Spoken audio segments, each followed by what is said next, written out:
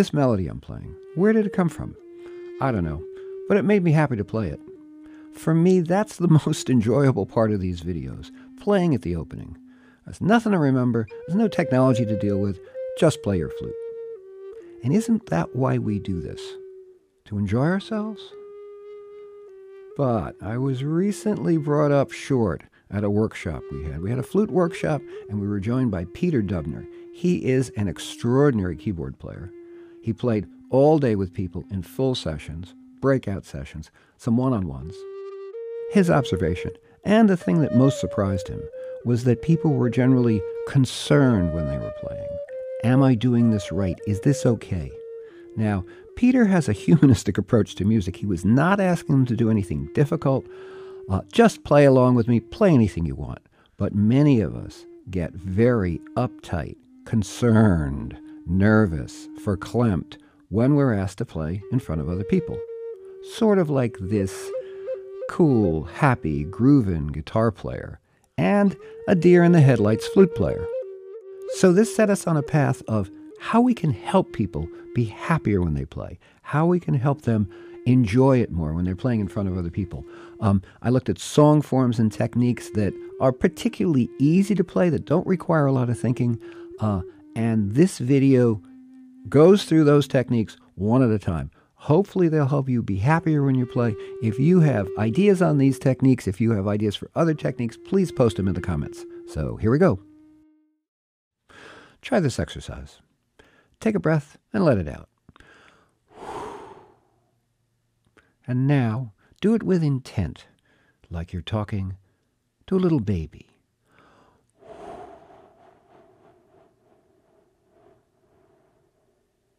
Or a lover.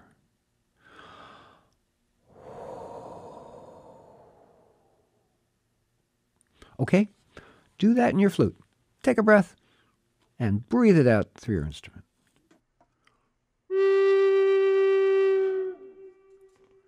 And now, same idea. Do it with intent. Do it with emotion. Pick somebody that you're making this sound for.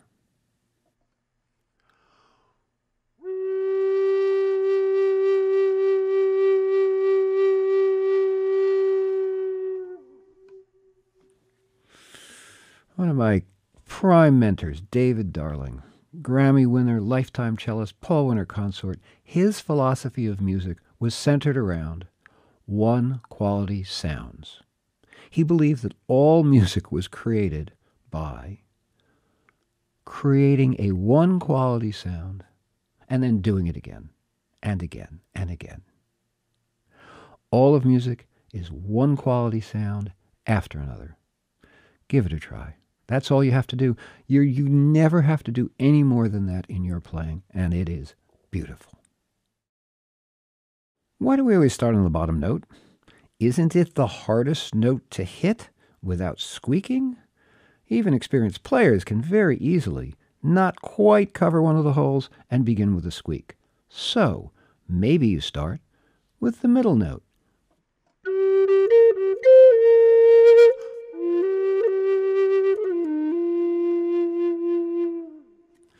But maybe you actually like this absolutely beautiful interval.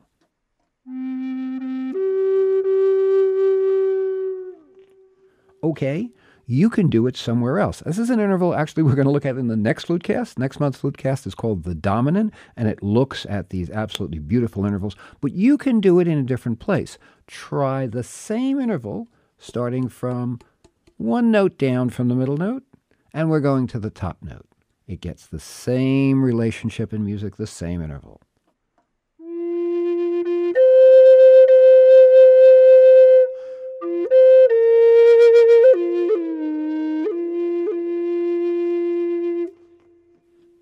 There it is. Don't start on the bottom note. Make it easy on yourself.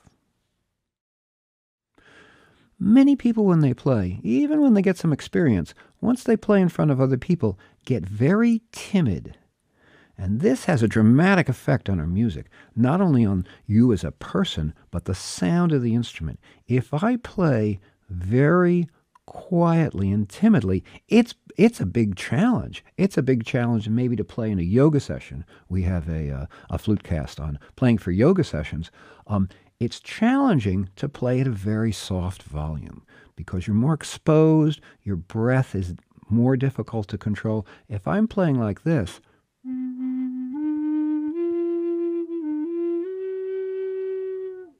And the flute isn't really designed for that. The flutes from uh, the 40s and the 50s that were played, uh, you know, on the Great Plains, they were meant to be played loud. There are some flute makers who design their flutes to be played loud. They're much easier and sound much better. Give it some air. Practice that. Give it a nice, uh, a nice, full, steady breath. Take a deep breath and play away.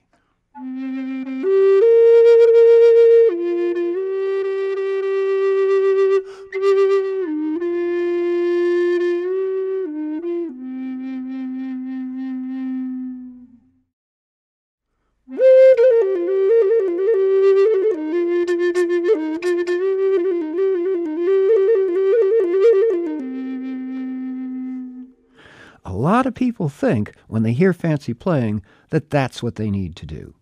Wait a minute. What is the home of this instrument? It's not doing what I just did.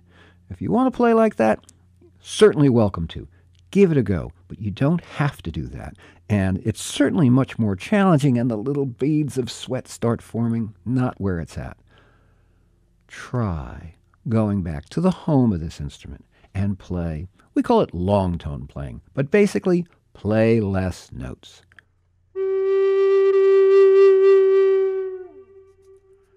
I'm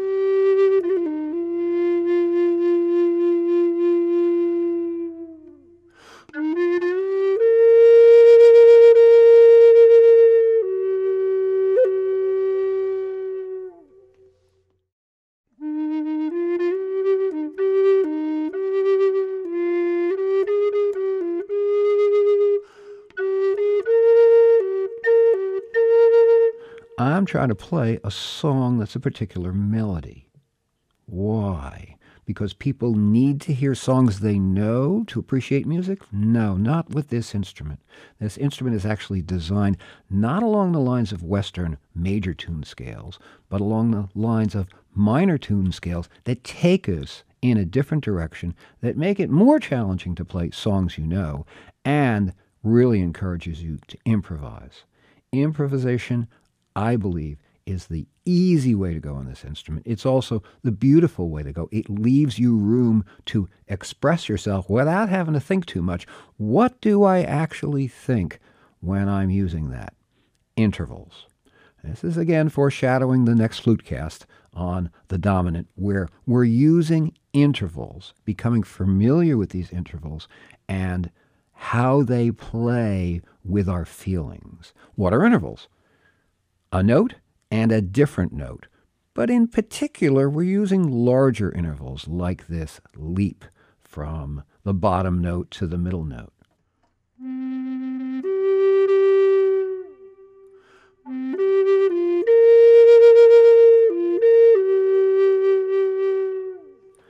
I am thinking about the intervals I want to play. I'm not even thinking it as much as feeling it. I've got in my fingers the relationship between two notes and what they feel like and what I want to express. That's playing intervals. Smile. Smile when you play. Give it a try. Even if you have to force yourself to smile, smile. Smile when you play. Smile when you practice. Smile whenever you put the flute to your lips. It will, fake it till you make it, it will help you actually be happier. And it'll also, when you're playing for other people, signal the way you feel inside because you'll begin to feel that way. Smile when you play. The mic is your friend. It is part of your tool to get your music out there. How do you love the mic? Use it. Use it in practice. Best way to do it. Always play into a mic and have it go into headphones. Okay, a mic into a mixer into headphones. There are flute casts on this. There's a flute cast on microphones, there's a flute cast on mixers. The great setup is mic into mixer into headphones. We've published some simple um, setups that you can do this with, and that puts the sound of your playing in your ears. And you can also add a little flute juice, a little reverb, and really sound fantastic. It will help you so much to fall in love with your own playing, to really hear your own playing, because we don't hear our own sound. Our sound comes from the sound mechanism and goes out. We can't hear it. Put a microphone. Always play with a microphone. Good quality headphones. Fall in love with your own playing. And then you'll feel very comfortable when you're in a situation where you're going to play at the mic. You're not going to be four feet away from the mic. You're going to cozy right up to it, and you're going to use it as part of your sound.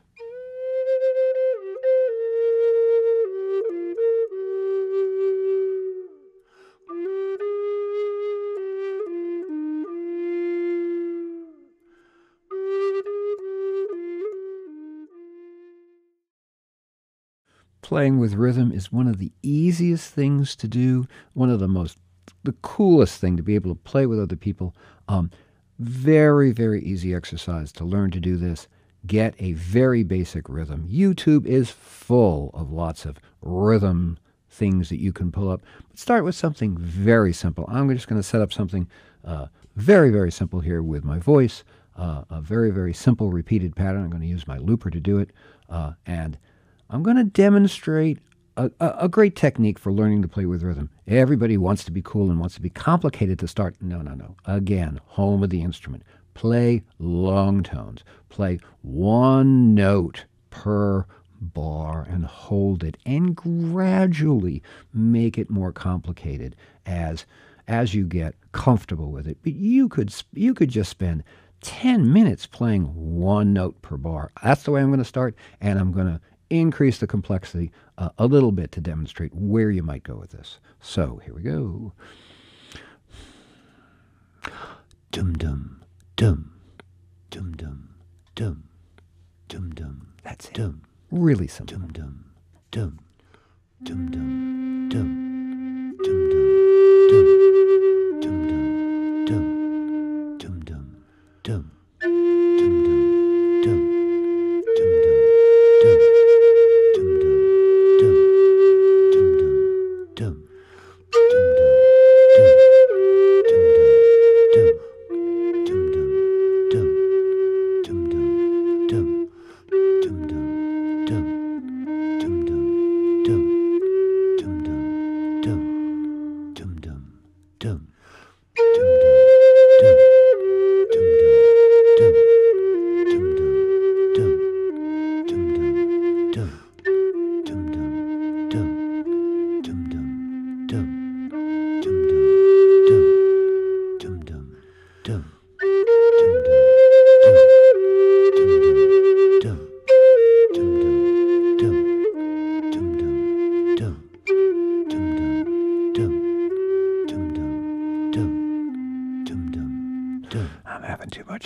dum on to the next section now. Dum, dum, dum.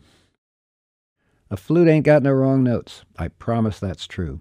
The only wrongness in a melody you play is your surprise at the note that comes out that you didn't expect because you heard a different note in your ear. That's where you were headed. That's where your intention was.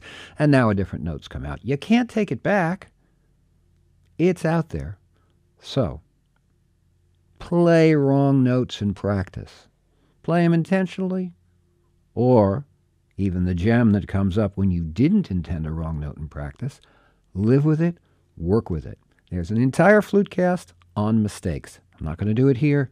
Go out and watch the flute cast on mistakes. Love your mistakes. Look forward to them. Take the opportunity and make a special kind of music with a new note that you didn't expect. Involving the audience is the oldest trick in the book you involve your audience, nobody's going to be paying attention to what you're doing. You could do anything. There's a lot of techniques for doing that. Uh, we have a flute cast on Play the Trees, where you get a group to stand up and you're playing the heights of their of their heads uh, to make a melody. You can involve the audience by asking them to just tap on their chest and keep going. Don't stop. I'm new at this, so I'm going to play for you, but I need your help. Or um, this kind of this kind of music traditionally was always played in community. There was no audience. Everybody was part of the music. You can tell that story. Involve people when they're having a good time. When you make them part of the band, they've always wanted to be part of the band. Now they are. Involve the audience. So now you're playing as, as part of a show. There's other people playing. They ask you to come up, and you got to get yourself on stage. And it can be a little nerve wracking, and don't trip on the wires, and all this sort of stuff. And you're in a new environment. Wait a minute. How about you get yourself onto stage in a different way that surprises everybody, that makes it easy on you? The walk on.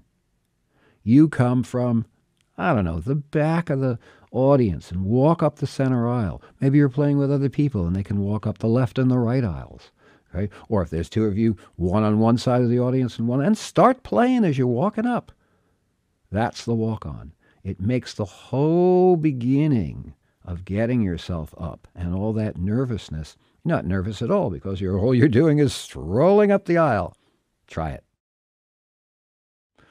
Another way to connect to the audience tell a story. Tell a story that begins with I love. I love this song because it's the first song I remember my mother singing to me.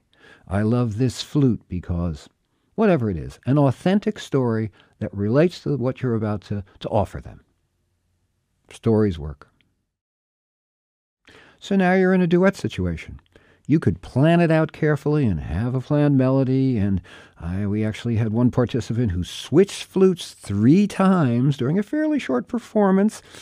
Hmm, very, very challenging, nerve wracking. Is it going to work? Duets can be so easy and so wonderful.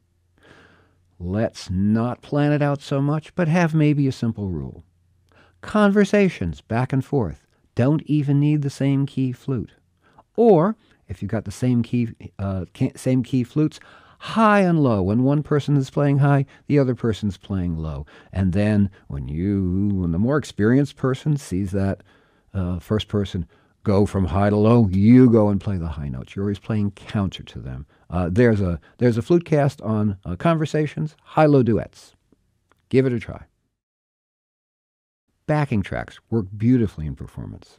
However, you may have seen very experienced players use complex backing tracks that have multiple song parts and they have to switch modes they're playing, and it sounds really good, but it's also challenging and can really make us nervous when we're trying to be relaxed and have a good time. So, find a backing track that you absolutely love and that has a repeating pattern, that has something you can easily fit into. Even if it goes on for six minutes and you have to turn it down at the end, that's perfectly fine. If you're going to do it, uh, have somebody else work the backing tracks, then it's not your problem. You just wait on stage until the backing track starts and then jam away. Okay? If you're going to do it yourself, be just very familiar with the technology. Be very comfortable and have your own technology and your own player and just give the performance venue, the tech engineer, an output of your sound uh, of your uh, backing track. That's it. Give it a try. So I believe we love our music. I know we love to play. Um, go out there, use these techniques if they're useful for you. I hope they can make you happier, and uh, flute on.